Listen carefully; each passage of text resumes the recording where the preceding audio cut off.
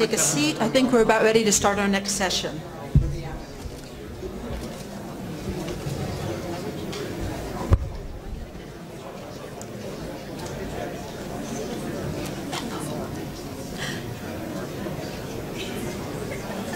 It's our great pleasure today to hear from Professor Brett Scharffs, who is a, Francis R. Kirkham Professor of Law at Brigham Young University's Law School and Associate Dean for Faculty and Curriculum, as well as serving as an Associate Director of the International Center for Law and Religion Studies. Um, he wears many hats and wears them very well. He has a distinguished um, training and background. He was a graduate of Georgetown University, was a Rhodes Scholar at Oxford University, and a senior editor of, of the Yale Law Journal when he attended the Yale Law School. Um, I've worked with him as a colleague for many years, and I'm grateful for his um, quick wit, his articulateness, and um, his graciousness and kindness as a colleague. I'm excited to hear from him today, and I will, without further ado, give him the floor.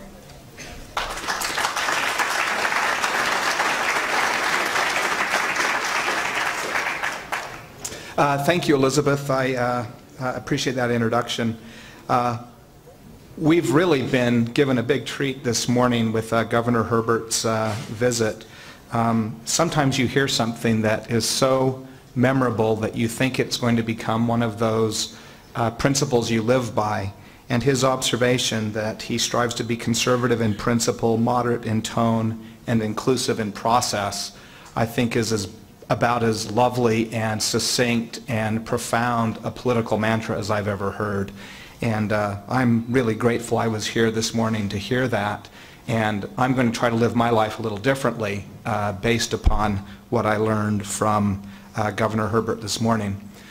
Um, I also appreciated his telling a joke uh, on lawyers that actually included politicians. I've heard that joke before, uh, but I've never heard politicians included in the, uh, in, in, the punchline before. But it reminded me of another story. It involved a, a rabbi, an imam, and a law professor uh, who were traveling together in a car that broke down.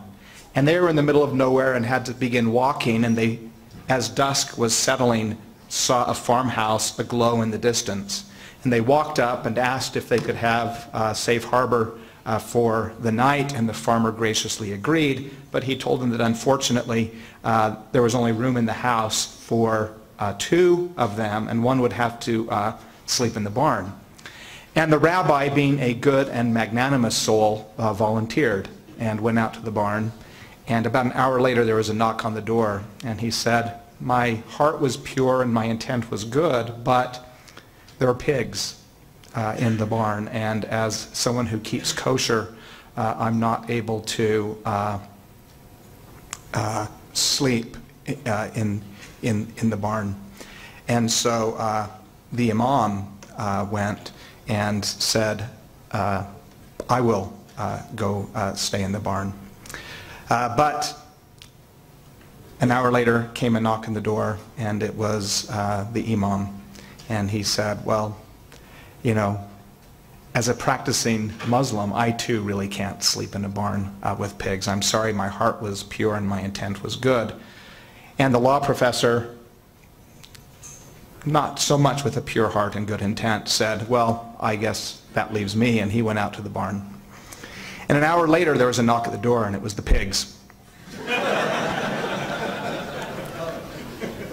saying, well, normally we suffer in silence, uh, but there are some indignities that are even too great for a pig to endure.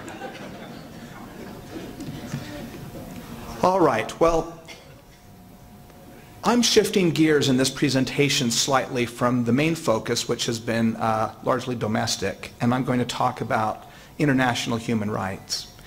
And uh, one important question is why this might be important for us working largely in a domestic context. And I think the answer is that sometimes uh, as Americans, there's a possibility that we can be viewed as being arrogant, as being parochial, and as uh, thinking that uh, the American way is the one and only or best way. And the truth is, uh, international human rights terminology, thinking, and vocabulary has become so important in the fields of uh, freedom of religion that we're going to be much more effective in our ability to engage and discuss and be participants in this area if we are knowledgeable about and conversant in uh, basic human rights norms and uh, terminology. And so in this presentation today, I have two goals. The first is to convert you in about 30 minutes to the top one-tenth of 1% of global citizens' understanding of international human rights. Now, that isn't as difficult a task as it sounds like because global understanding of human rights is so low and so abysmal that even uh, in 30 minutes, I think I will be able to take you into the top tenth of 1% of uh, global citizens. But this is going to be a little bit repetitive for those of you who were here last year of the introduction to human rights that I uh, did last year. So I apologize uh, for that. But I think this is a topic that is complex enough and subtle enough that I need to be reminded of it from time to time just so it stays fresh. So my apology is not wholehearted, it is half-hearted. Um, the second thing I want to do is I want to talk about how human rights are implemented around the world. And this grew out of a teaching experience I had in June in Indonesia. I was teaching at a program uh, on Sharia and human rights, trying to, uh, trying to uh, encourage Islamic thinkers to think of ways to build bridges between uh, Islamic law on the one hand and human rights law on the other hand. And I began listing with them how do human rights norms get implemented around the world? And they came up with a list of about 15 different ways. And I'm going to share that list with you because I think it has resonance and echoes with a lot of what we've been talking about here over the last three days. So that's my plan, is to address these two questions. What are human rights and how are they implemented? Professor Mary Ann Glendon of Harvard Law School, in her magnificent book on the drafting of the Universal Declaration of Human Rights called A World Made New, says this. The moral terrain of international relations was forever altered one night in Paris on December 10, 1948, when the General Assembly of the United Nations adopted the Universal Declaration of Human Rights without a single dissenting vote. It was actually December 11th because by the time everyone was done with their congratulatory speeches, the strike of midnight had already taken place. But think about it. A unanimous declaration uh, arising out of the ashes of World War II. When the UN Charter was drafted in 1945, the great powers, the United States, Great Britain, and the Soviet Union, showed little interest in the Human Rights Project. Why? Well, the Soviet Union is easy to understand. Uh, their concern was for communal interests, uh, economic and social rights, perhaps, but certainly not political uh, freedoms.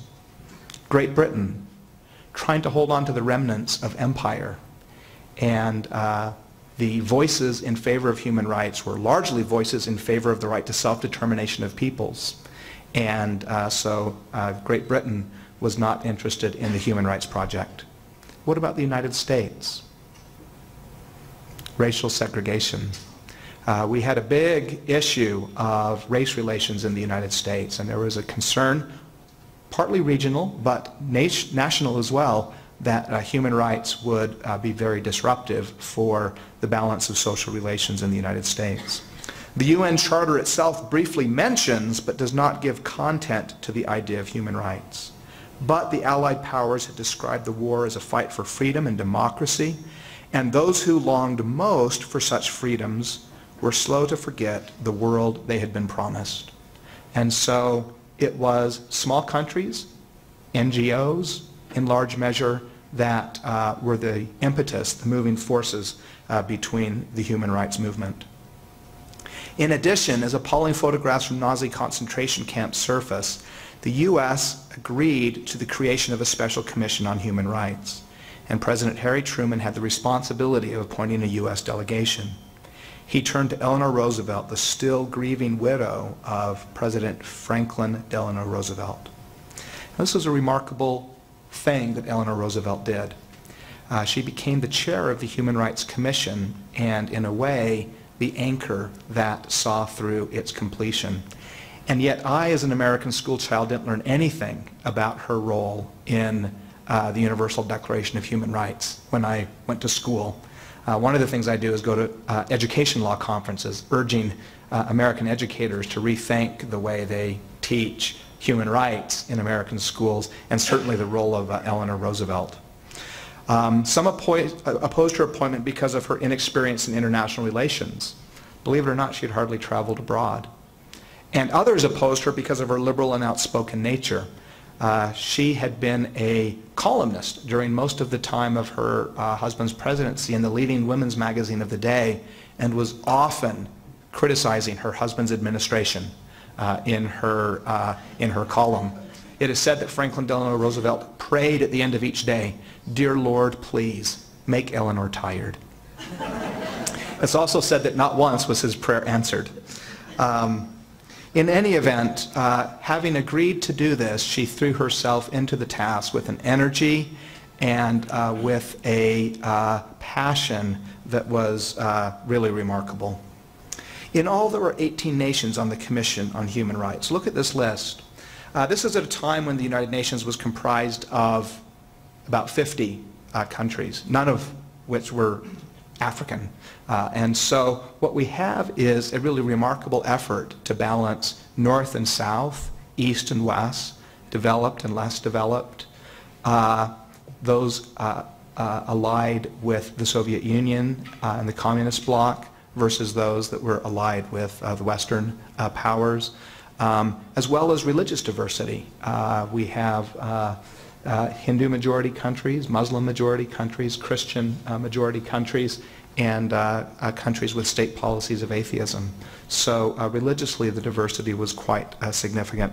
Indeed, I think if you were trying to balance a, a set of countries, I'm not sure you could have improved upon what, was, what was done. What I want to do is focus on a few of the provisions of the Universal Declaration of Human Rights, just to give you a flavor for the tone, the character, the language of uh, the Universal Declaration.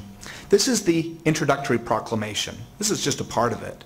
But it says the UDHR declares itself to be a common standard of achievement for all peoples and all nations, to the end that every individual and every organ of society, keeping this declaration constantly in mind, shall strive by teaching and education to promote respect for these rights and freedoms and by progressive measures, national and international, to secure their universal and effective recognition and observance.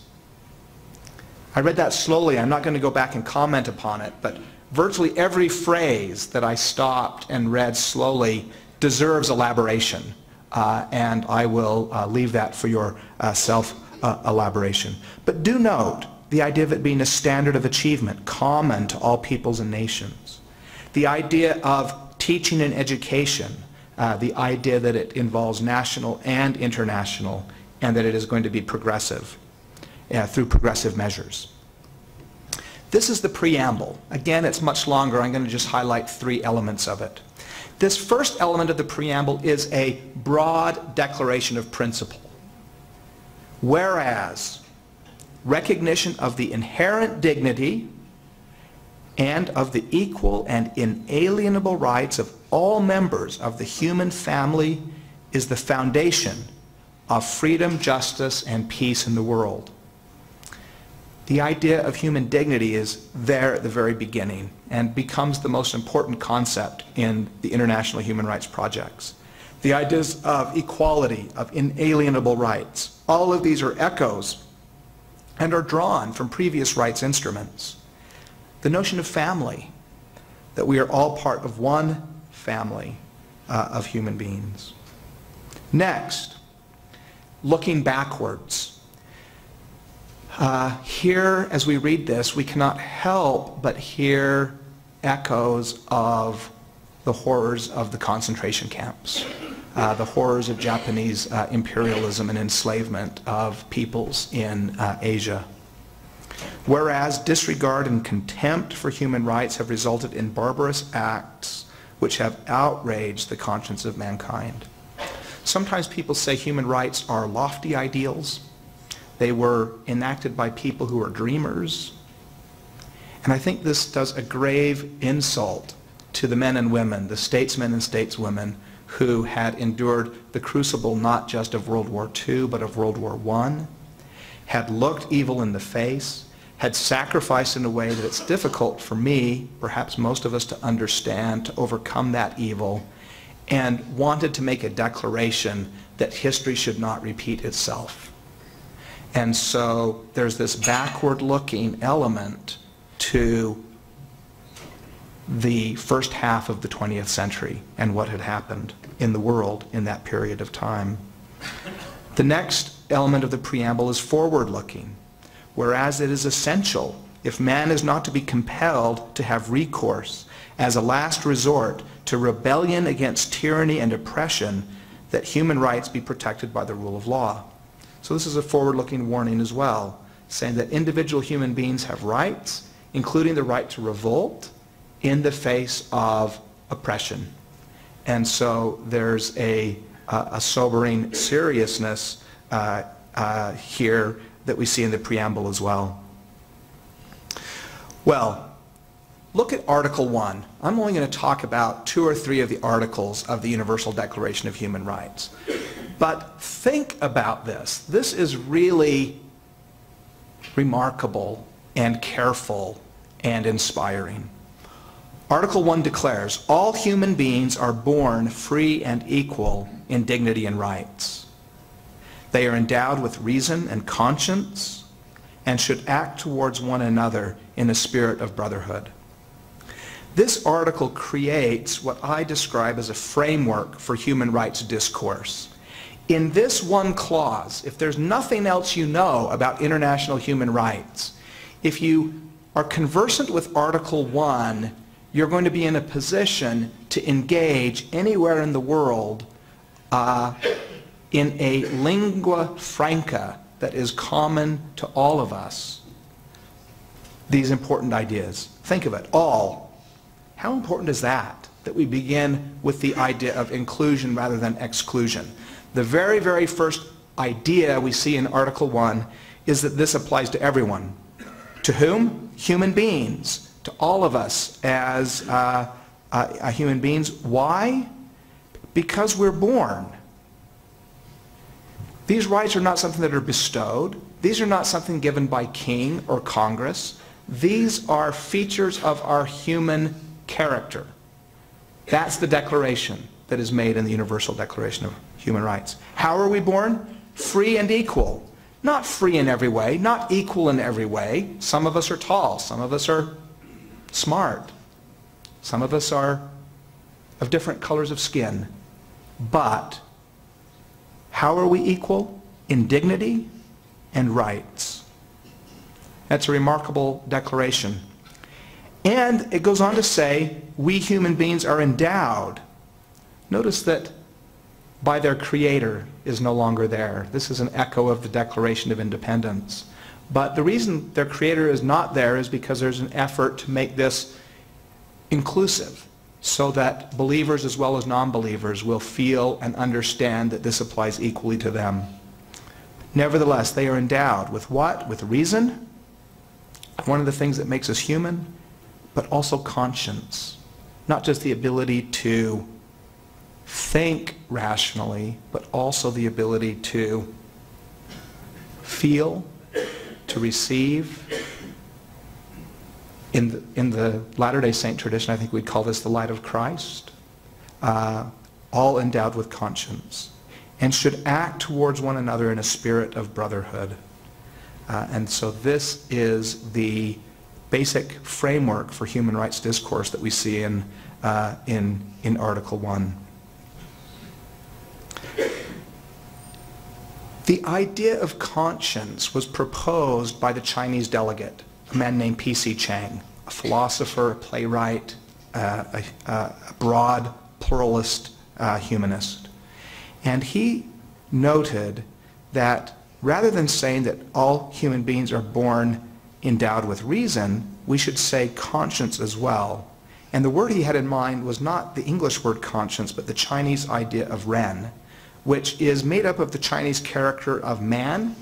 That's the little thing that looks kind of like an eye, a slash with a line. That's the character for man. And then the part that looks like an equal sign is two.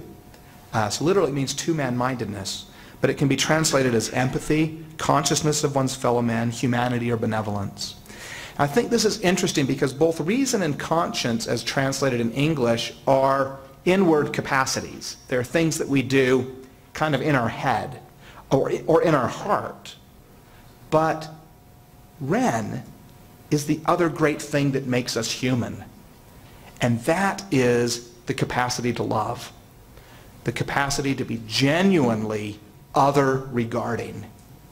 And I think it's unfortunate that that concept of Ren was not captured in the translation of the word that was translated as conscience. I'm glad conscience is there, but I'm, I wish that that idea of Ren, it's a little bit like the African concept of Ubuntu, uh, was uh, on its face. Perhaps it's captured better in the following phrase, the, the, the spirit of brotherhood, uh, because that spirit of brotherhood implies an outward, other regarding uh, character of our human capacity that isn't quite captured by reason and, uh, and conscience. What might be different if Ren was really kept in mind?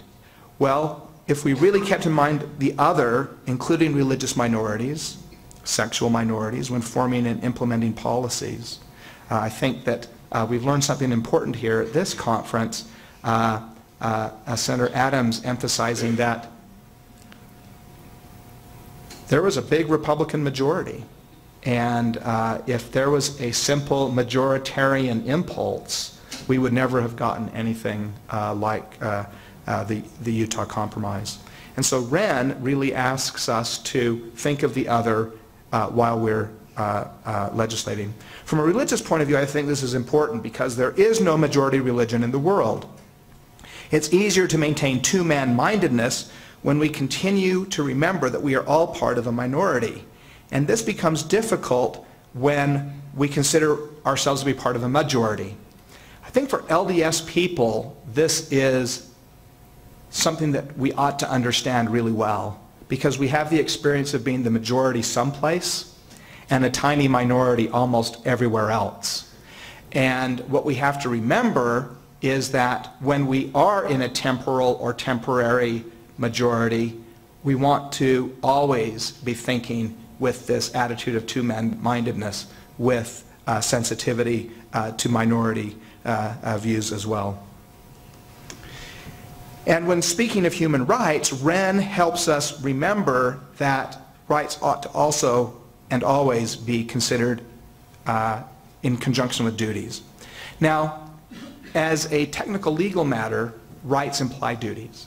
But the rights holders are individuals, and the duty holders are states, governments who owe their subjects, their citizens, the people within their jurisdiction, uh, the rights. But what Ren does is it helps us understand that that's not the only kind of duty that is implied by rights. There's also the duties that fall upon us as rights holders to exercise those rights responsibly and to uh, reciprocate in our uh, treatment of others as well. Let me run quickly through a few of the other key provisions of the Universal Declaration of Human Rights. Article 2 uh, is uh, the grounds of inclusion. Uh, everyone is entitled to the rights and freedoms set forth in this declaration without distinction of any kind, such as race, color, sex, language, religion, political or other opinion, national or social origin, property, birth, or other status. Article 7, equality, non-discrimination, equal protection. Article 18, this is the article that is most relevant to uh, freedom of religion. Again, I want to read through this. Everyone has the right to freedom of thought, conscience, and religion. This right includes freedom to change his religion or belief, and freedom either alone or in community with others, and in public or private, to manifest his religion or belief in teaching, practice, worship, and observance. Again, you can read the history of the drafting, the development of Article 18. Every word, as you can imagine, has been carefully uh, chosen. Again, we begin with everyone, all human beings. Religious freedom, freedom of thought, conscience, and belief is not limited to citizens or permanent residents. Non-resident aliens, stateless persons also have the right to freedom of religion or belief. So do foreign religious leaders, religious personnel, and missionaries. Human beings do not lose their rights by taking on religious roles. These rights belong to everyone. Next, has. Religious freedom is not something bestowed by the state or its statutory regimes. Individuals and religious groups have these rights simply by virtue of their human nature. They may not be recognized, they may not be in effect, but those rights are there and claims to those rights can legitimately be made. It's a right. It's not a privilege or a gift. What's distinctive of a right? It's not just an interest. What a right is, is something that has a legal claim, uh, something that you can look to the state and say, you have an obligation to uphold and protect me in the possession of this thing. And it's important that uh, the freedoms of thought, conscience, and belief are rights. It's a freedom. This is important too because it's not reducible to equality or equal treatment. We can have equal treatment in the gulag, right? Everyone can be treated equally there. Uh, and everyone can have equal freedom of conscience in the gulag. But what's required by Article 18 is not just equal treatment, but freedom. Freedom of thought, conscience, and belief. Thought, conscience, and religion. One of the big debates we get into is how do you define religion? Well, it's very interesting. And sometimes we have to answer that question. Think about the IRS rules for who gets a tax exemption. The IRS has about an 18-prong test. It's a little bit like a Wittgensteinian family resemblance test, and it works pretty well for determining who should and should not qualify for tax-exempt status. But as a matter of international human rights law, it doesn't matter because the protection is broad. It includes thought, conscience, and religion. And so whether something is defined as religious or non-religious doesn't ultimately matter with respect to the perspective of international human rights law. As the UN Human Rights Committee has said in General Comment number 22, Article 18 protects theistic, non-theistic, and atheistic beliefs, as well as the right not to profess any religion or belief. The terms belief and religion are to be broadly construed. And as a religious person, it's important for me to repeat this frequently.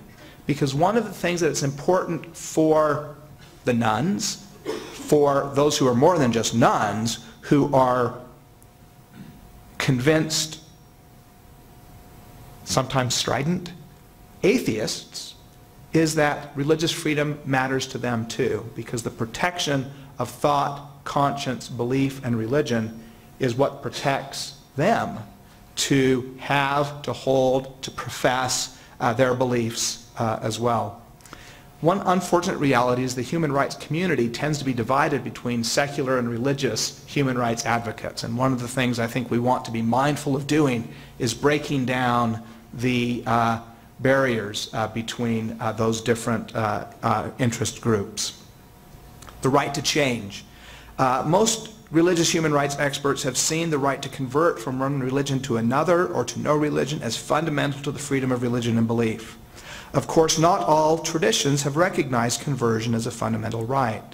The drafting of Article 18's recognition of the freedom and right to change one's religion caused division among nations with large Muslim populations.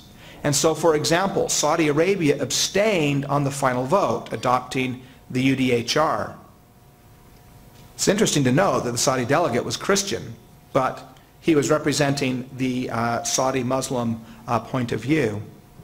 Uh, other Muslim countries did not object to the inclusion of the right to change religion or belief. For example, Muhammad Khan, the foreign minister of Pakistan, uh, who was a Muslim, although from a Muslim minority group, promised the full support of his country, citing a passage from the Quran, let him who chooses to believe, believe, and him who chooses to disbelieve, disbelieve. And noting that Islam itself is a proselytizing religion, Khan expressed his view that the freedom to change one's religion was consistent with Islam and that faith could not be obligatory. But it's important to know that, that this word change in Article 18 was one of the most sensitive, controversial uh, elements of the entire uh, Universal Declaration of Human Rights. In community with others, freedom of religion or belief protects activities that have social or communal dimension. It's not just a private right. It includes manifestations. Freedom of religion or belief includes the freedom to manifest one's religion in teaching, practice, worship, and observance. That sequence was designed to be broad and inclusive, not to be limiting.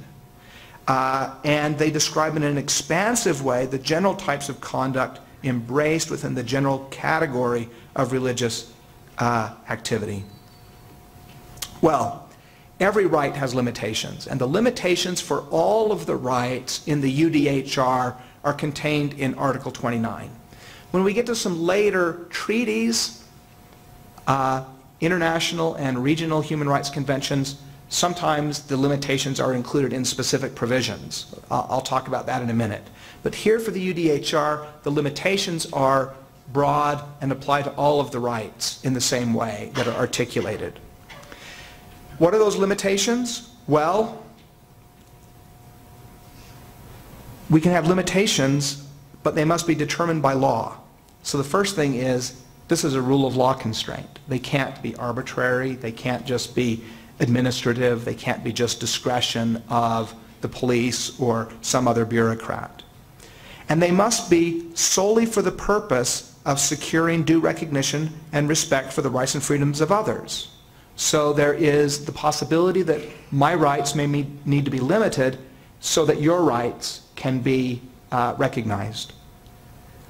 And they may be limited for meeting the just requirements, not just the pretensive requirements, but the just requirements of morality, public order, and the general welfare in a democratic society. And as you can probably imagine, most of the debate about the scope of human rights takes place in a debate about the legitimacy of limitations and the scope of limitations based upon these limiting bases. Morality. If this is going to be broadly understood, we can imagine all kinds of limitations on human rights. Public order. If public order is uh, uh, envisioned broadly enough, you can imagine all kinds of limitations. And uh, general welfare. Uh, well, I can imagine limiting a lot of your rights uh, to protect the general welfare. So this is really where the crux of the debate focuses in international human rights. Well, one thing to understand about the Universal Declaration of Human Rights is it doesn't have the status of international law. It was a UN General Assembly resolution, and after it was complete, there was a hope that in relatively short order, there would be a binding treaty uh, that would uh, be a convention that would have the status of uh, hard international law. But it turns out that the ideological differences between East and West prevented progress. And by 1951, the Commission decided to adopt a two-convention approach, one focusing on economic, social, and cultural rights, and the other on uh, political uh, rights and freedoms. And so after that, it took another 15 years to get the ICCPR and the ICESCR adopted. These are sometimes known collectively as the International Bill of Rights. So that's a term that is used in human rights discourse. This includes the Universal Declaration of 1948, the International Covenant on Economic, Social, and Cultural Rights, and the International Covenant on Civil and Political Rights. I'm not going to talk a lot about these, but I did want to just uh, provide this framework uh, for you.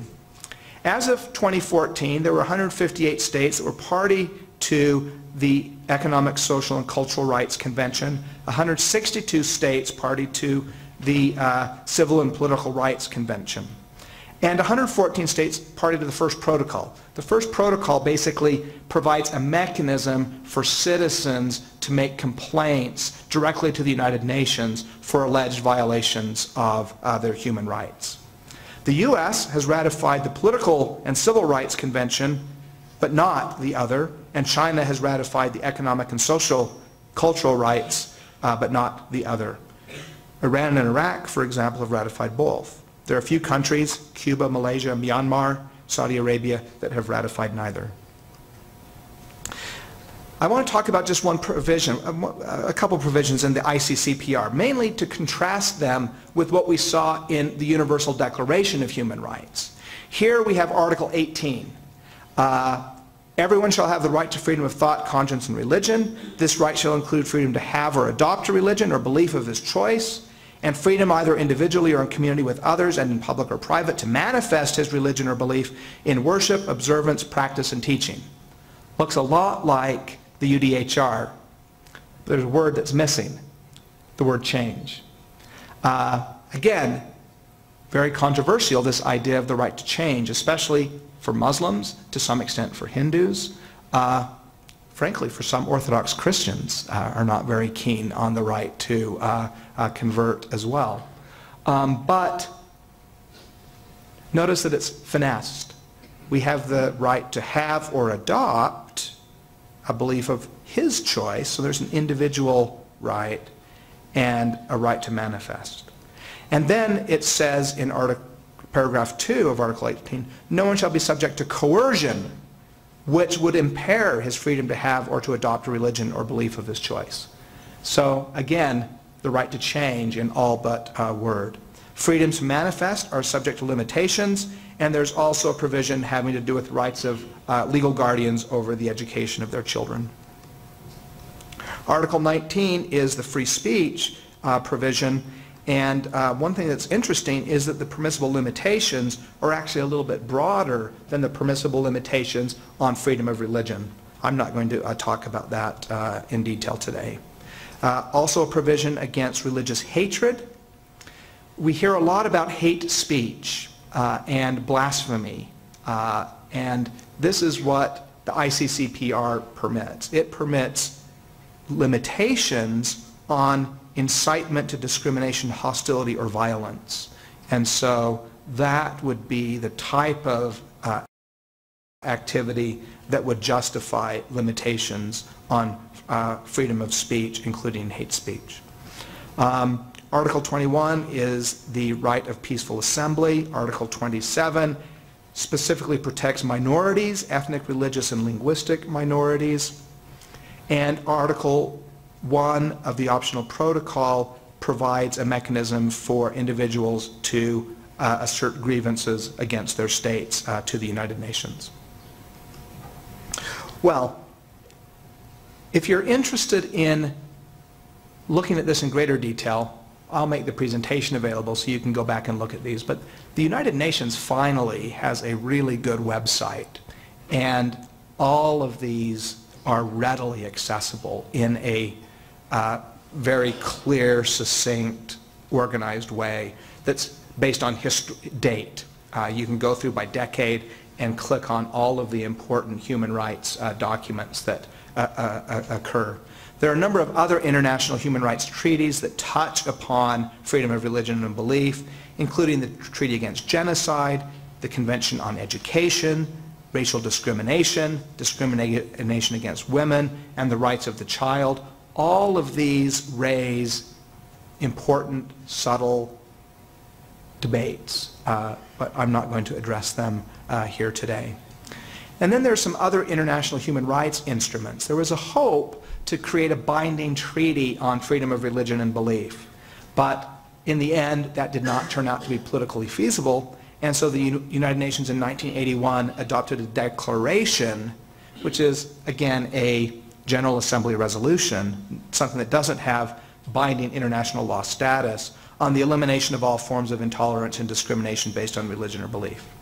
Now, one thing to recognize is that most of this repeats language from other treaties. So the fact that it's not itself a treaty ought not be exaggerated in its significance. But it is useful because there is an article, Article 6, which explains in greater detail some of the things that had widely come to be understood as included within the right of thought, conscience, and religion.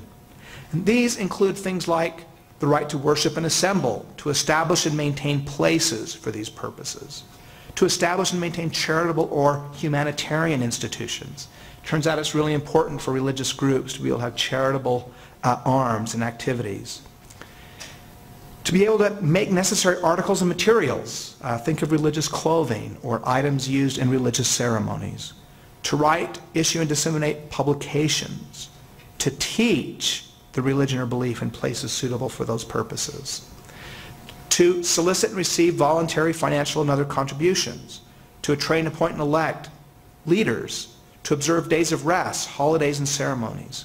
To establish and maintain communications with co-religionists from other countries. So uh, especially for those of you operating in the international arena, having the 1981 Declaration and Article 6 in your pocket can be a helpful way of framing discussions because most of the countries in which you're dealing are going to have governments that are that voted yes uh, on the 1981 uh, Declaration or are parties to the international conventions uh, that this is an elaboration of. And it can be a way of just framing a discussion in ways that uh, can be facilitative. There are additional, a number of UN monitoring institutions. I have these included on the slide if you want to go back and look at them. I'm not really going to talk about them uh, in our uh, presentation here uh, today. In addition, we have regional human rights treaties. The most important of these is the European Convention for the Protection of Human Rights and Fundamental Freedoms. I'm going to talk a little bit about the European Convention and the European Court because with uh, respect to human rights discourse, this has become, I think, the preeminent uh, international forum. Uh, Article 9, look at that. It's a lot like Article 18 in the UDHR, a lot like Article 18 in the ICCPR. Freedom to thought, conscience, religion, freedom to change, freedom to manifest in public and private. Limitations, only those that are prescribed by law, necessary in a democratic society, in the interest of these enumerated ends. And so, the forum internum, belief, may not be subject to limitation. The forum externum, manifestations, are subject to carefully defined limitations. The way the European Court analyzes claims is always the same. They ask whether a limitation is prescribed by law.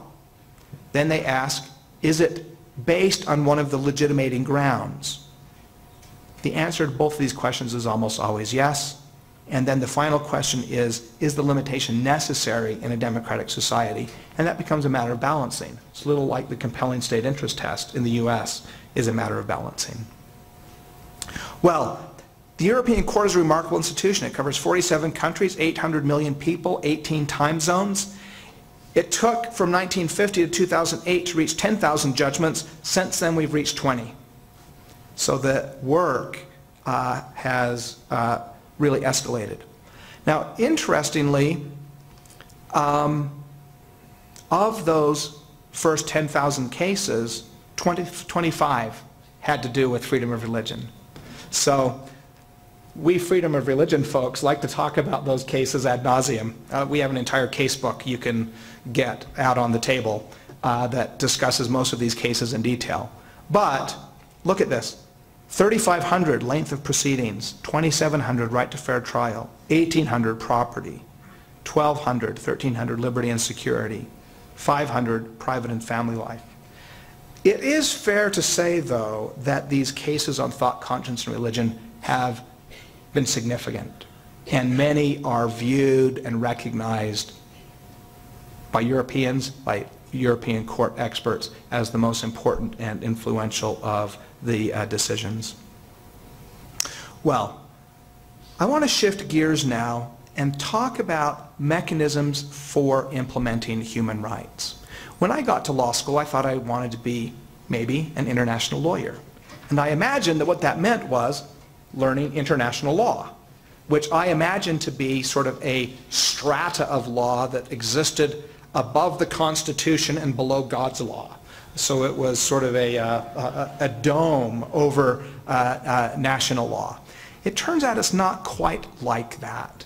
Uh, and international law takes a lot of forms and is implemented in a lot of different ways. And I've been thinking about this over the course of our discussion here. I'm going to mention 15, and I'm going to have to go quickly, and then I'm going to open the floor for discussion. First is national constitutions. It turns out that perhaps the primary place where international human rights norms are implemented are in national constitutions. All but about a half dozen constitutions of the world have been enacted since the end of World War II. And almost all of those constitutions implement in one way or another, sometimes with interesting variations, the international human rights uh, norms that we see in international treaties. And so uh, one of the primary places where uh, human rights norms are implemented are through national constitutions and through the in judicial interpretation and state implementation of those constitutional provisions.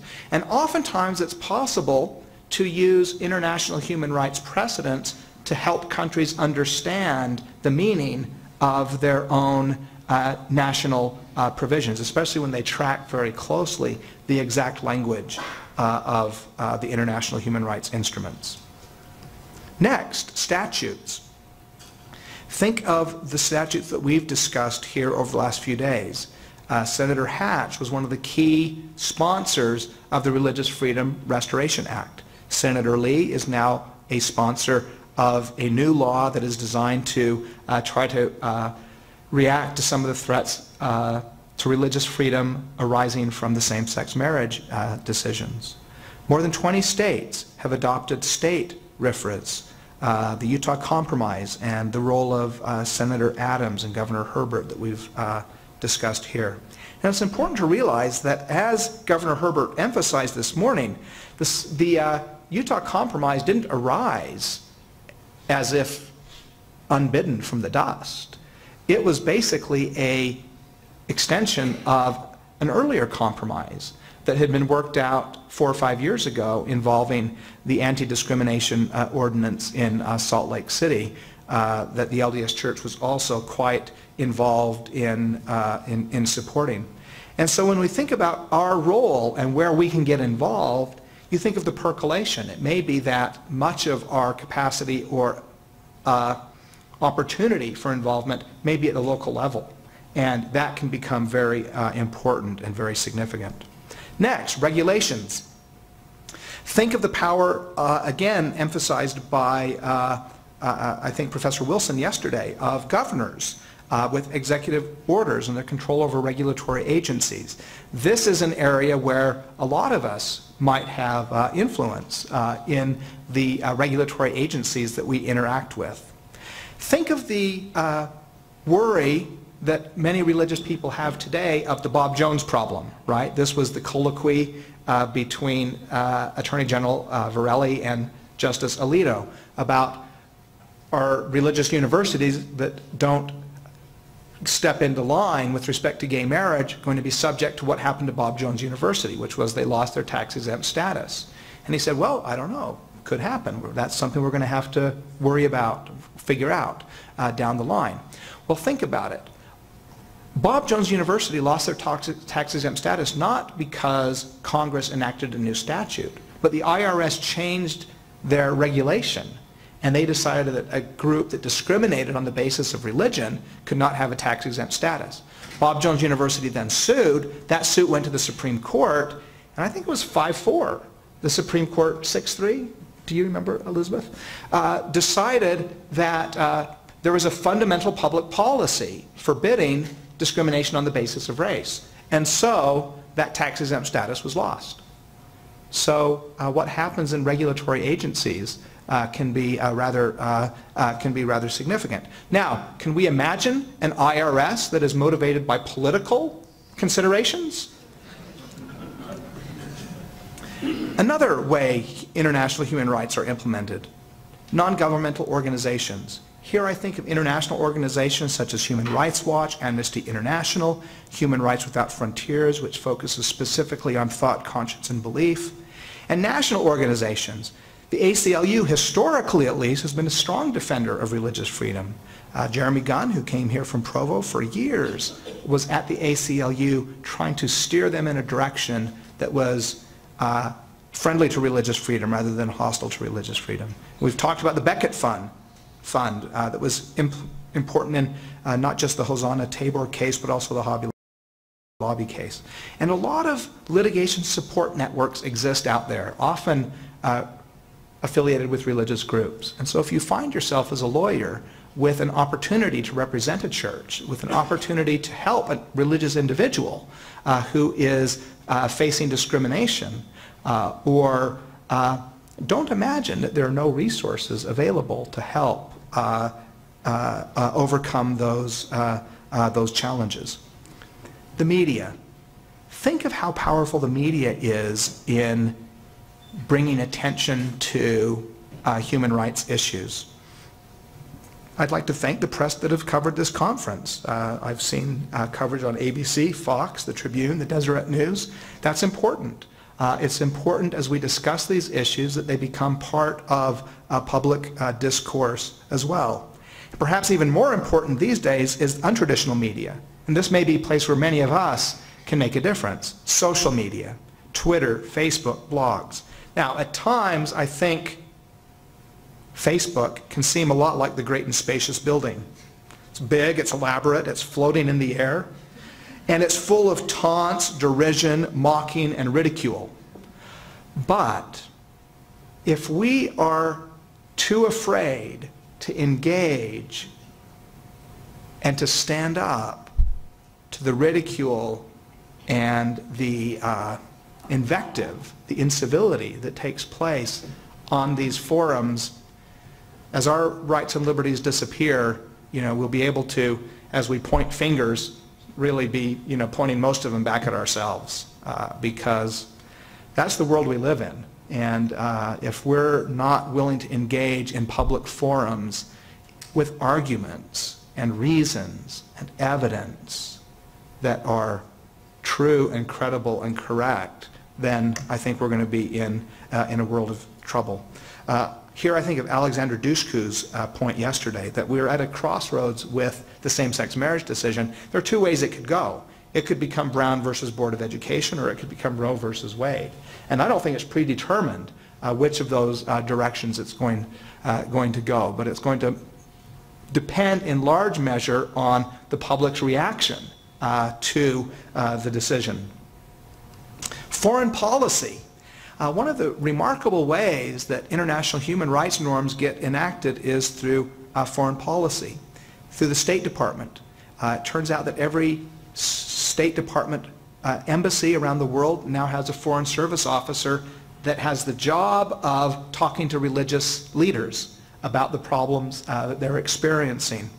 And uh, I have seen some of these uh, young State Department officials, a few of whom I've known as uh, LDS uh, folks, make significant differences in the lives of religious minorities.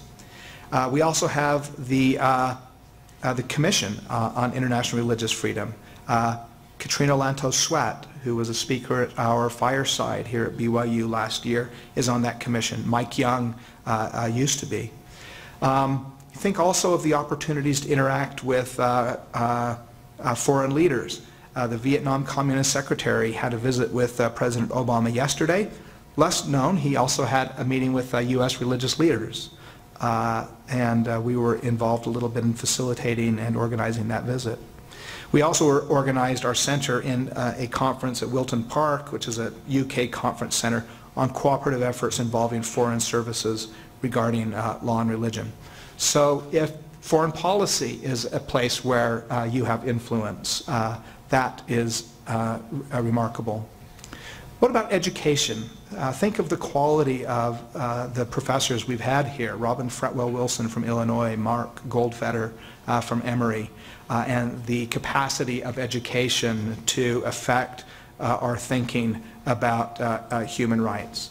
Not just law school, what about Sunday school? Um, can we talk about the roots of human dignity, the idea that we're all created in the image of God?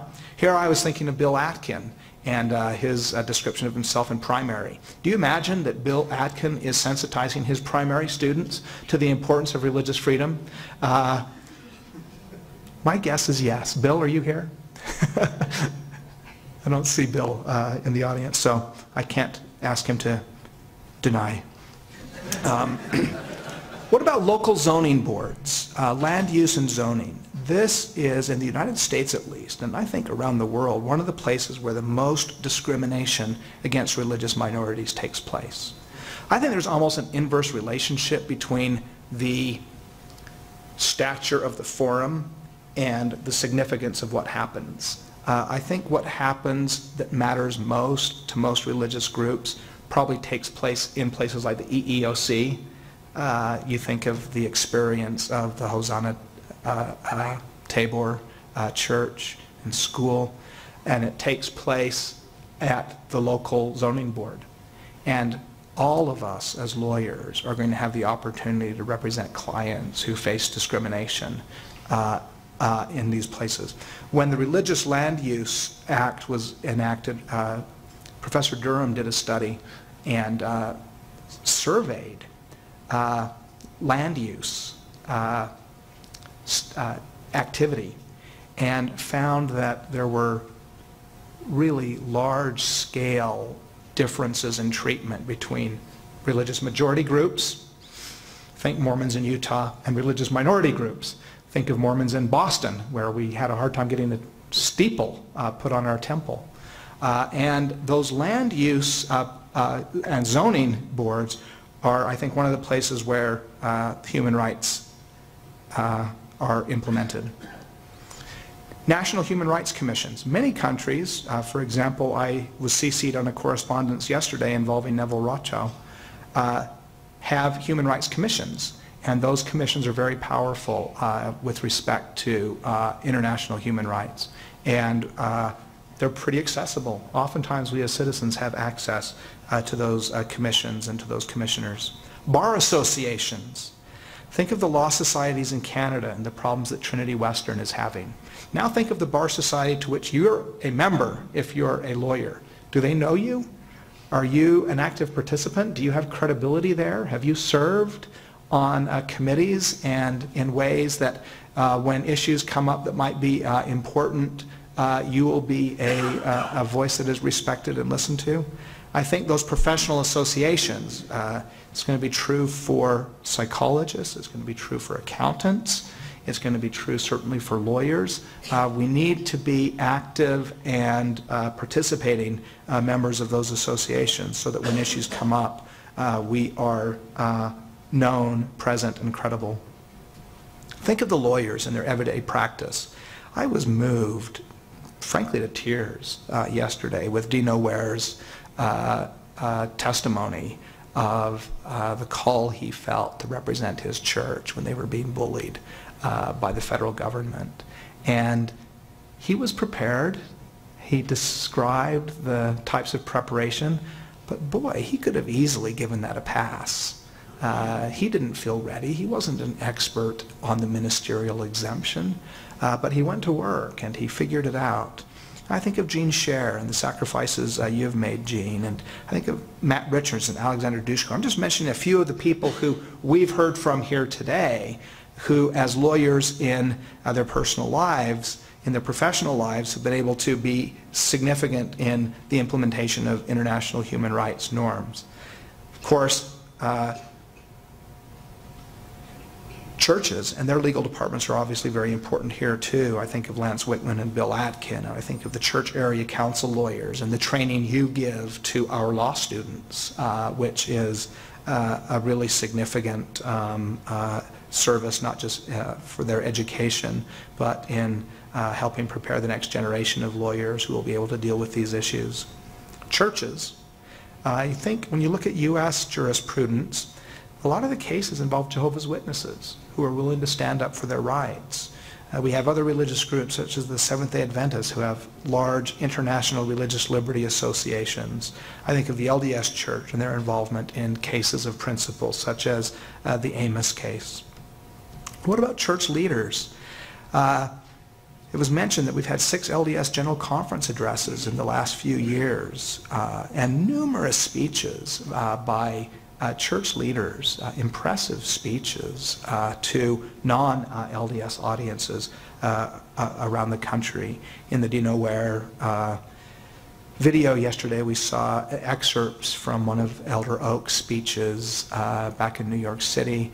Uh, we've also seen excerpts from uh, Elder Christofferson's uh, speeches as well as others. Church public affairs.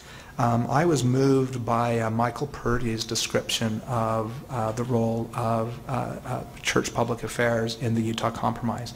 You might say, well, it's really inappropriate for a majority religion to get involved in legislation in a state where there's such a large majority. But here's the truth of the matter. There would not be protection today in Utah uh, for lesbian and gays in employment and in housing had it not been for the LDS Church. That is the truth of the matter. And that was a majority church stepping in to protect the rights of minorities with whom they disagree.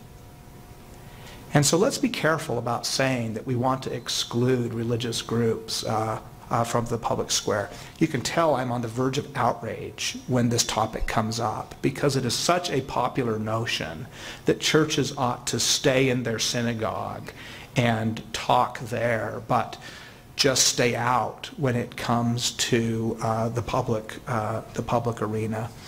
We wouldn't have the Revolutionary War had it not been for religious groups. We wouldn't have had the Civil War had it not been for religious groups. We wouldn't have civil rights. We wouldn't have voting rights. Uh, we wouldn't have uh, the opposition to abortion uh, uh and, and the rights of the unborn had it not been uh, for religious groups. Uh, so let's be careful before we say that religion ought to be expelled or excluded from the public square. Businesses are involved in implementing human rights norms. Again, I think this is one of the most important places where this takes place. Religious uh, business, uh, businesses that try to accommodate the religious needs of employees. Most of the time this is done in undramatic ways. It's finding the employees who have a Saturday Sabbath and those that have a Sunday Sabbath and trying to balance their schedules. Uh, or trying to be sensitive to the holidays and the religious needs of our, uh, of our neighbors and uh, businesses are in a place to uh, be sensitive to issues of equal treatment and uh, non-discrimination. Friends and neighbors, uh, I think of our conversations that we have uh, uh, with those close to us, with our family, with our friends, and I think this is a place where we ought not muzzle ourselves. We ought to be willing to have conversations.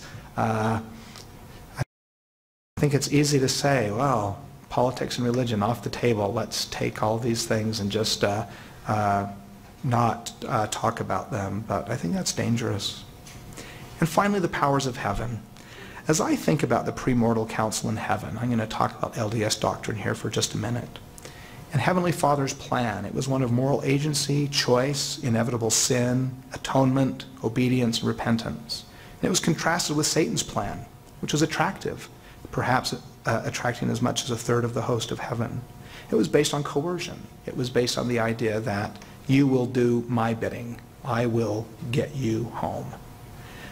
It's not just that it was a bad plan. It was that it was a lie. Uh, it's not it, possible uh, to force people into salvation. And so as I think about this issue of religious freedom, I think the most important thing we can know is that we're on the side of truth and right.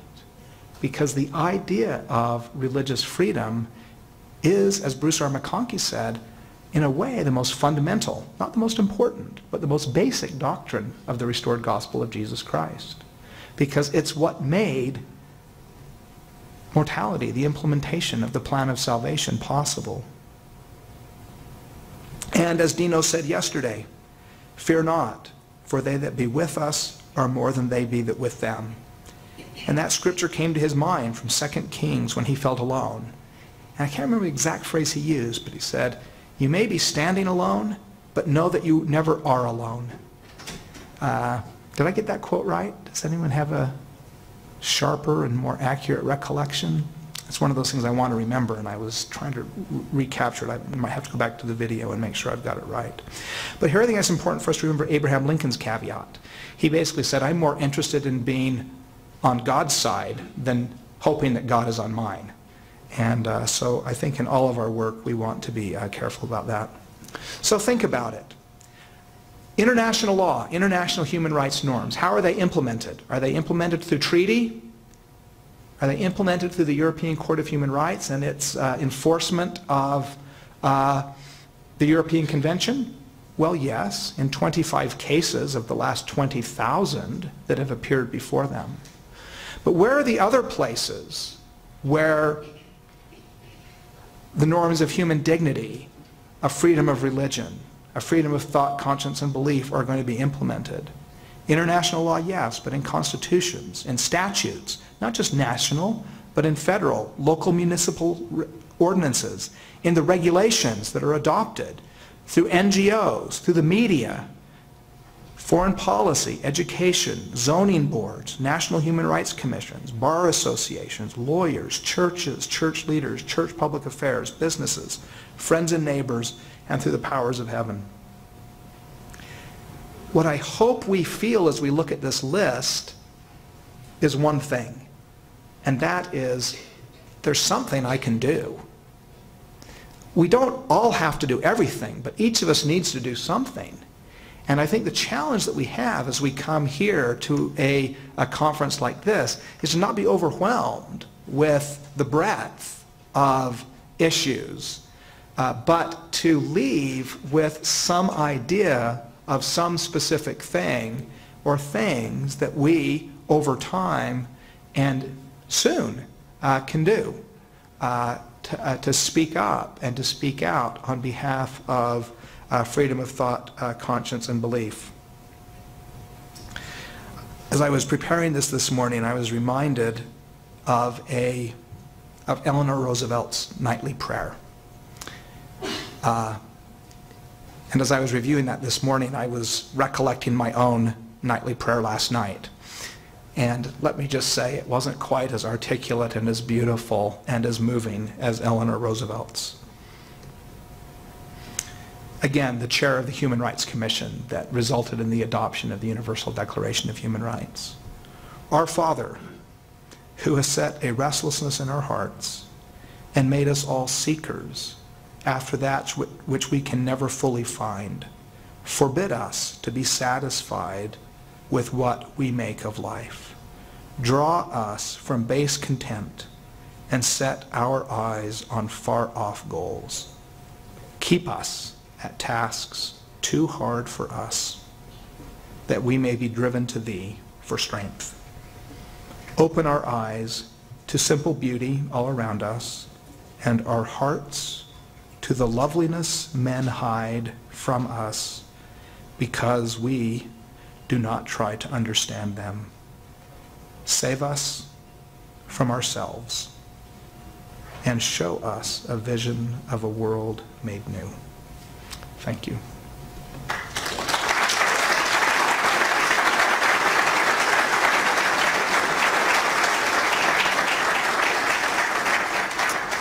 All right, we have about 15 minutes and I'd uh, welcome uh, questions or comments, uh, other ideas for ways in which human rights norms are implemented, ways you've been involved in implementing them. Uh, and I see a hand uh, up here to begin. Don?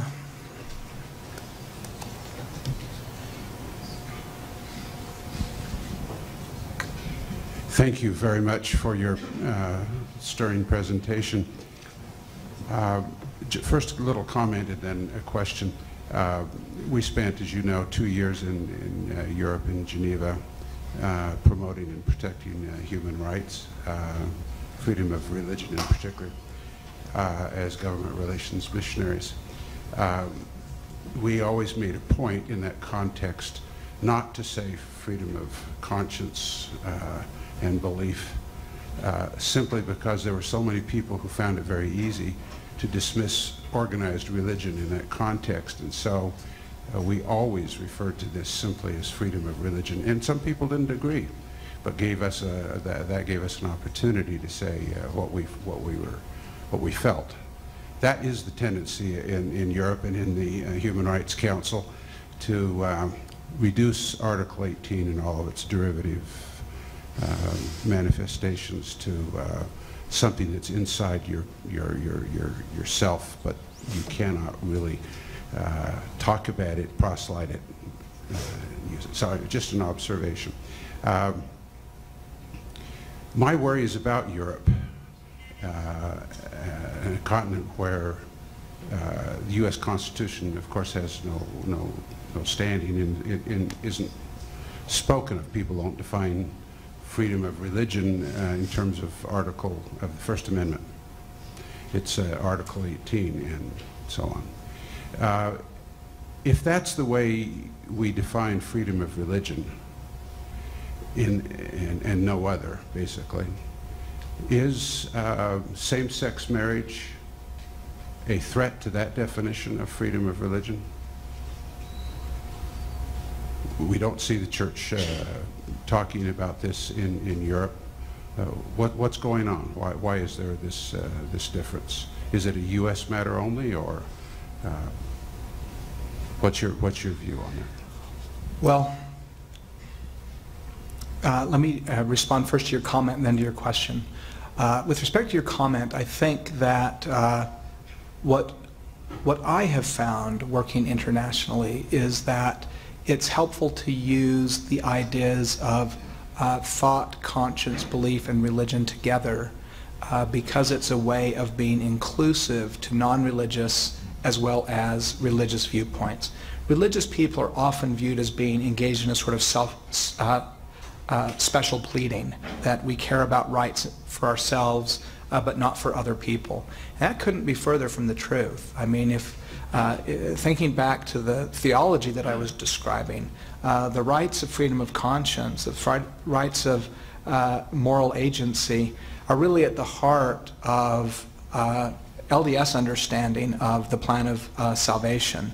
And so it's not just important for us to have our religious freedom, it's important for all people everywhere to have moral agency. Um, and I think you want to be sensitive to the situation you're in and the audience that you're with and uh, realize that the terms and the terminology we use can make a big difference. I think that if you start talking about the First Amendment in Europe, you're not likely to get very far. For one thing, they don't have anything like the prohibition on establishment that we have in the First Amendment. And so it's easy for Europeans to say, well, your experience is completely different, it's idiosyncratic, it has nothing to do with Europe. Um, I don't think it's quite as simple as that because the problems of establishment come up. They come up sometimes in the guise of non-discrimination and so forth.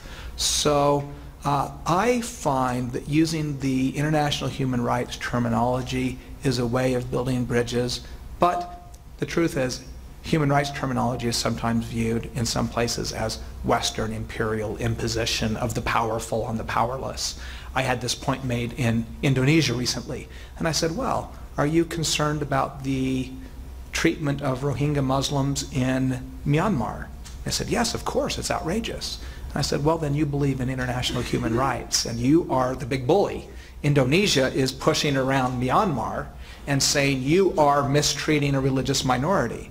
Uh, I think it's great for Muslims in Indonesia to be standing up for uh, Muslims in uh, uh, Myanmar, uh, where they're a mi tiny minority. The Buddhists are uh, the big uh, majority in Myanmar. But how much better if they were standing up for religious minorities in uh, Indonesia uh, as well. Now, your second question about same-sex marriage. I think there are two ways this can be conceptualized. One is as a marriage problem, and the other as a not as a discrimination problem. Uh, if same-sex marriage is viewed as a marriage problem, I don't think there's much of a risk for religious groups because religious groups have always been allowed to use religious criteria for determining who is and is not eligible to be married in their churches or synagogues or mosques. So for example, you know, when the Catholic Church says you have to agree to raise your children within the Catholic Church in order to be married in the Catholic Church, they're allowed to do that, and we don't bully or berate them for doing that. And the same for the Jews in their synagogue and Mormons in their temple. I think that we understand that religious criteria for religious marriages make sense. If, on the other hand, this is viewed primarily as a discrimination problem, here I'm thinking of uh, uh, uh, the Loving case. Uh, if this is viewed as akin to racial discrimination, that if you don't marry same-sex couples in your church, you are doing something which is just as bad as refusing to marry uh, interracial uh, couples in your church, then I think we're in a, in, in, in, a, in a world of trouble. And I think the reality is there are really important differences between discrimination on the basis of race and uh, discrimination on the basis of sexual orientation. But the big push is to collapse those into the same sort of category. And so I think that type of um, collapse uh, uh, uh, needs to be resisted because if this is viewed primarily as a Loving versus Virginia problem, then I think the risks are uh, significant. The European solution, of course, has been to disconnect religious marriage from civil marriage. And so you don't get married in the temple in Europe until you've already been civilly married and the, uh, the temple marriage doesn't have any civil effect. And so in a way, that type of situation is protective of religious freedom because the religious marriage isn't tied up as closely with the rights of uh, uh, civil marriage. And you know, there are, as Robin Fretwell Wilson was describing yesterday, there are you know large calls for religious groups to withdraw from civil marriage uh, as a way of avoiding the implications of, of uh, uh, same-sex marriage. Her concern was that by withdrawing in that way, some of the moral capital uh, of marriage is lost. And uh, if you look at the status of marriage in Europe, you could say that maybe that uh, argument has some validity uh, because uh, uh, marriage is not a particularly strong institution in, in, in Europe. So I think we're in uncharted waters. We're not quite sure what lies ahead.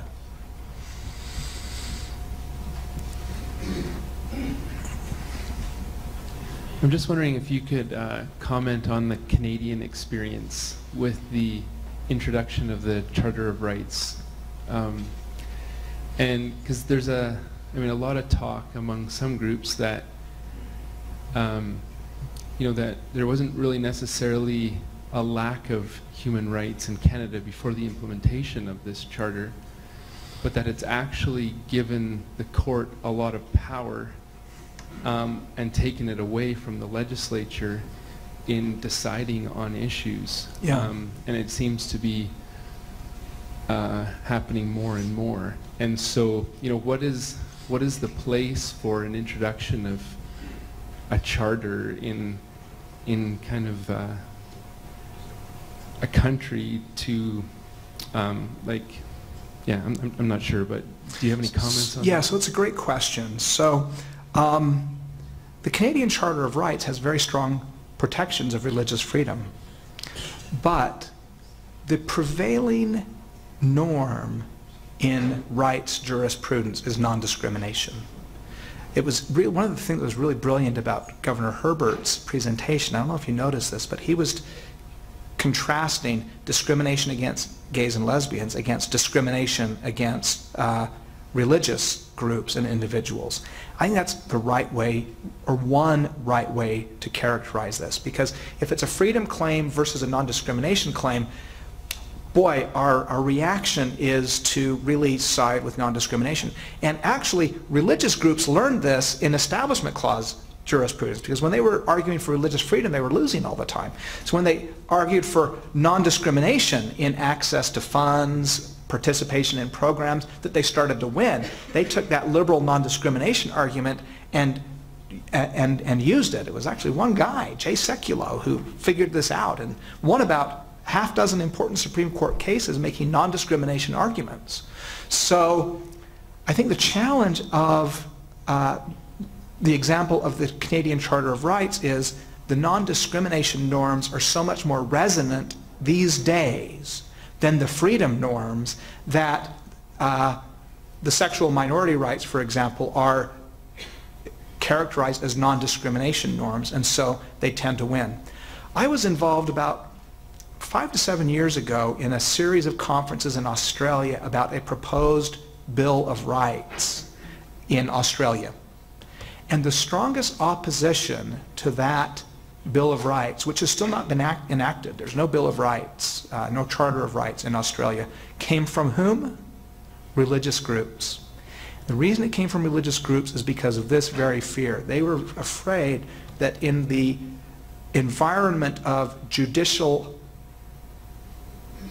ism, that the non-discrimination norms would trump the freedom of religion norms. And they felt like we're better off in the political milieu than we are in the judicial milieu. And I was an outsider, but we have a Bill of Rights and we have judicial protection and enforcement of rights. And so my instinct was to think a Bill of Rights is a good thing. Um, but there are disadvantages in living in a judgeocracy. And, uh, you know, this week we kind of feel like we're living in one. And so uh, uh, I, I, think you raise a really important and uh, challenging issue. Uh, one, I, I, think I'm at the deadline, but if, if, you'll ask a short question, I'll try to give a short answer. It's going to be a bigger challenge for me than it will be for you. Okay. This is uh, maybe not the best time for this question, but I'll ask it and you can see how much you want to answer. So um, Governor Herbert said something while he was talking about the baking case in Oregon, and it was really interesting to me because I see that case as extremely problematic. Uh, and it, as I thought of it, it reminded me of something that Professor Goldfeder said yesterday about the ACLJ, which you just mentioned, is, which is that they've had a lot of success in some cases characterizing the rights as free speech rights uh, and, and not just as freedom of religion rights. And I thought about that and I thought uh, the governor said that the, um, the, the homosexuals who wanted to get married and they wanted the baker to, to help them with the ceremony, they complained about, about feeling uh, embarrassed and ashamed uh, and, and, uncomfortable because of what the baking company had, uh, had done. And to some extent at least, not in all contexts and not with all people and not in all places, but uh, part of my response to that argument is that, well, you should feel embarrassed and you should feel ashamed and you should feel uncomfortable because what you're doing is really wrong. It's really immoral and you should stop and you should do something else. And I feel like I should have the right, when I believe uh, it's appropriate, to say that in very clear and, forceful terms. And I see that as a, a religious right and as uh, a, a, free speech right, as a, as a right of freedom of expression. And I thought about it again as you were going over some of the international covenants, and I wondered uh, if you have seen or heard of anyone using the international covenants to support an argument like that, that, that opposition to same-sex marriage is, is a freedom of religion thing, it's a freedom of speech thing, it's a freedom of expression thing, or, or maybe it's, uh, I don't know, there's something in the international covenants that we talked about. So I was wondering if you've seen that, uh, to what extent you've seen that, and also if you can imagine other ways of using those international covenants to support an argument like that that maybe you haven't actually seen people use. So maybe not the best question for a short answer, but that was my question. Okay, so it's a great question. The issue of uh, small businesses uh, discriminating is an old one. Uh, the way handled in the civil rights law was to basically carve out very small businesses. So we basically said we're going to address discrimination by tackling businesses with fewer than 50, now it's 15 uh, employees. And I think there's, that, that makes some sense. I think sometimes we might want to just treat really small uh, businesses a little bit differently. We do it with respect to the civil rights laws. Um, Second is, these types of issues have come up in a lot of places. I saw a case from Northern Ireland where there was a baker that they wanted a cake that was Bert and Ernie, and it was saying, you know, uh, marriage is for everyone. And uh, it was a very small business, and, and they said, no, uh, you know, I don't like Sesame Street characters being used in that way to promote a gay rights agenda, and I'm, I'm opposed to gay marriage. And they, they, they were fined and, and, and subject to the, uh, the same sort of uh, experience that the photographers and cake makers and um, uh, uh, florists have experienced in some places in the United States. It makes me uneasy. I mean, I think, for example, there was another case recently of a ba- bakery that was run by a couple of gay people, and someone came in and wanted the cake that said, marriage is only for men and women. And they said no. And there was no lawsuit against them brought by the the, the, the commissioner for equality uh, of the state. It was, well, you know, they disagreed with that. It was sort of provocative that they were asked to do it. They were, the people asking for it were trying to pick a fight, and we're going to ignore it. And frankly, I think that's what's happening in most of these uh, service cases. I mean, I think a lot of times it's just people trying to uh, bully others.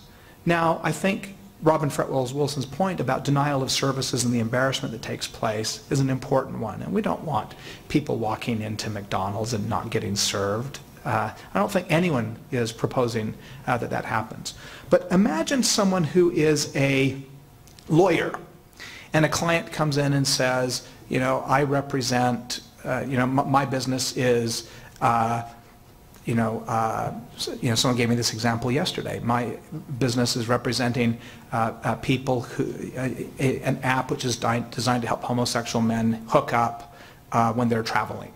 And, and should you have a right to say, hmm, that, that's not, that- that's just not in my wheelhouse. That's not a cause I want. Not that you're not entitled to have legal representation, but I don't have to represent you. I think most of us would say that a lawyer has a right to decline a client uh, based upon that client's cause. I mean, think of all the law firms around the country that have chosen not to represent uh, traditional marriage. Uh, and I think they have a right to do that. Uh, but they're discriminating on the basis of religion when they do that.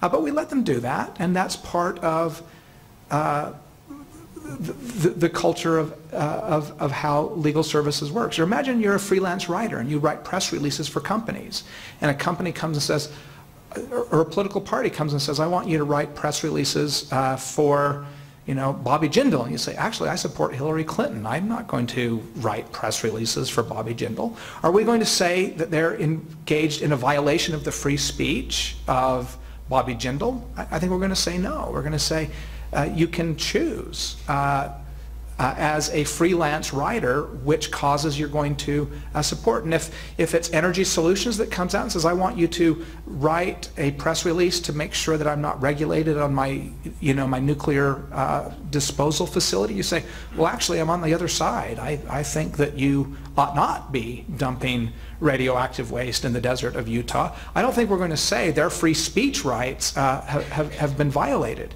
And so I tend to see these expressive cases involving the very close connection to marriage a little bit more like that freelance writer and a little bit less like McDonald's. And you can make an argument that it's more like one than the other. I mean, we're in search of the better analogy. I think the better analogy for the baker and the photographer and uh, the florist is the freelance writer. I think what they're being asked to do is much more expressive and much more an endorsement of a particular viewpoint that we ought not force on people. Now, you know, if you're going to Safeway and ordering a cake, I'd come out differently. I mean, I think Safeway can have some regulations. I mean, are we going to allow Safeway to not print the Confederate flag uh, on their cake? I think we're going to say yes to that, even though that violates uh, uh, uh, uh, someone's uh, freedom of speech. So even that is not a case in which we're going to necessarily be even-handed in, in, in, in, in, our, in our reactions. I was in South Africa, and Albie Sachs, who is one of the Constitutional Court justices in South Africa, who lost an arm and an eye to an explosion uh, against that was targeting him when he was uh, uh, a, a social activist against apartheid. He's a white man. Uh, he was talking about this issue of, you know, do you coerce the small business owner to not discriminate? And he said, you know, in South Africa we face this problem and we didn't force them. And he said, I think that was the right decision because this is a matter where we want to change hearts rather than coerce hearts. And I think the likelihood of getting good outcomes that are going to be socially harmonious are going to be if we give each other some social space to live our convictions, even when they're a little bit unpopular, even when they might result in something that is or looks like discrimination. You know, if someone's a photographer and I go in and I say, I'd like you to photograph my marriage, and they say, but you're Mormon, uh, I just don't feel comfortable, you know. I, you know, I'm down at Temple Square and it makes me feel uneasy because, you know, I'm whatever, and, uh, you know, I just get agitated when I think of the church's position on X.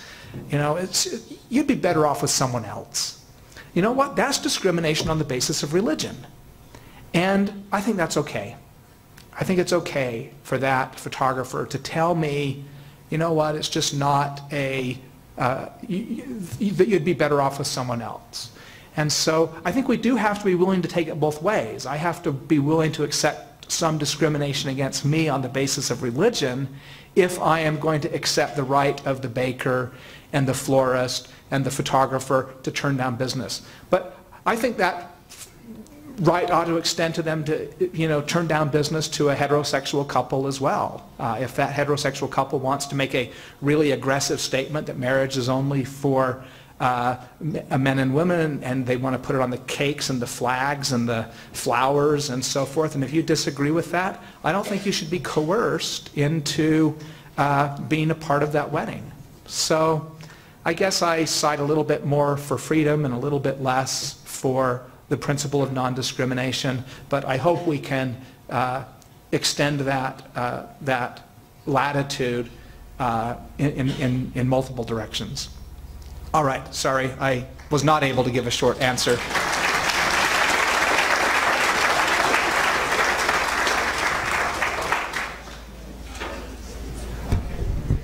As you proceed to lunch, you'll be handed copies of survey. We're asking you to fill this out so that we can learn from you what, how we can improve this conference for future years.